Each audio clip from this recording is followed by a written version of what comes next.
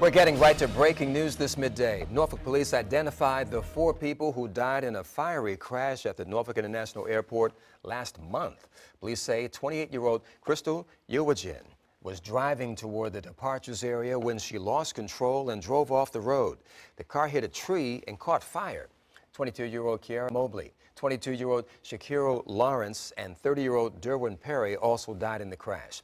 All are from Norfolk. Airport police and other witnesses tried to rescue the victims but could not get them out. Investigators say speed appears to be a factor in the crash. 10 News Side's Jason Marks is gathering more information about the crash and the victims. And look for his report coming up on Wavy News 10 at 4.